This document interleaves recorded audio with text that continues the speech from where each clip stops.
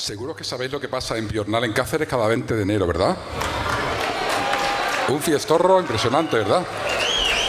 Bueno, pues allí en esa fiesta de Piornal, que es el pueblo habitado más alto de Extremadura, ¿verdad?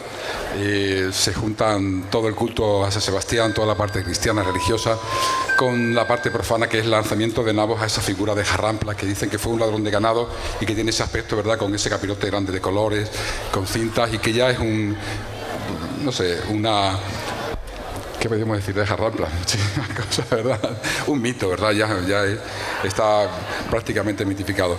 De ahí traemos una, una alborada, claro, la alborada de Jarramplas.